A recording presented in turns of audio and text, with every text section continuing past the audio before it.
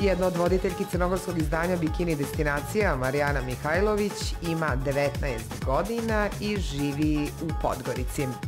Nedavno je upisala studije diplomatije na UDG univerzitetu, a već tri godine bavi se manekenstvom i moramo priznati ima zavidne titule.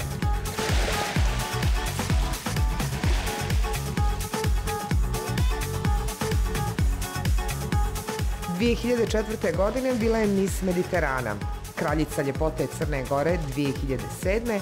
a Miss Crne Gore 2008. godine. Moj nadimak je Sofija, zato što momci misle da sam ljepša od Sofije Loren.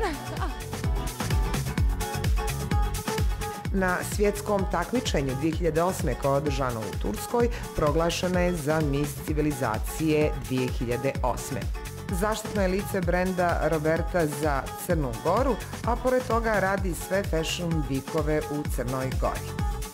Budite uvijek na pravom mjestu. Gledajte program Atlas televizije.